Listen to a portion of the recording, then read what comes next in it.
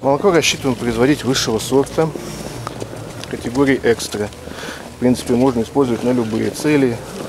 Руководство комплекса «Блиновская» знакомит губернатора с новым масштабным проектом, который помимо Алтайского края сейчас реализуется в Калужской и Тверской областях. Проектная мощность комплекса больше 6 тысяч голов, объем производства молока более 35 тысяч тонн в год. Есть и другие плюсы.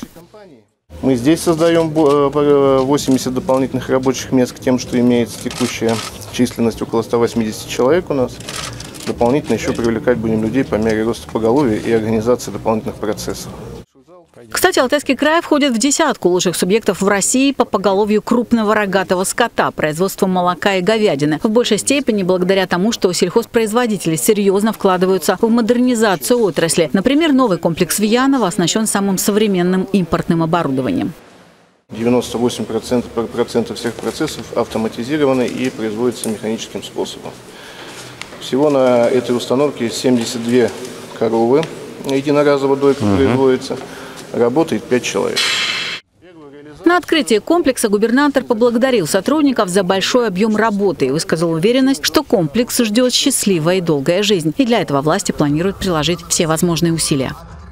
С точки зрения устойчивости развития сельского хозяйства, конечно, отрасль или сфера вот животноводства, она дает, конечно, свою стабилизацию, надежность, круглогодично востребованные рабочие места.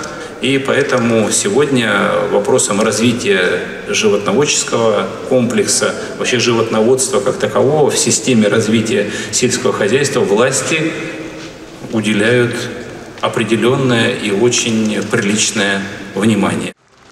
Губернатору также рассказали, что на предприятии не будет проблем с кормами. По словам руководства, на сегодняшний день уже заготовлено 28 тысяч тонн сенажа и 32 тысячи тонн силоса. В рамках строительства комплекса в 2022 году был введен в эксплуатацию современный элеватор с производительностью до 100 тонн в час и объемом хранения до 10 тысяч тонн. Татьяна Голубева, День с толком.